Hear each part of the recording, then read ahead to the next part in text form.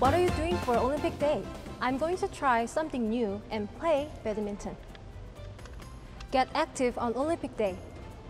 All you need is you.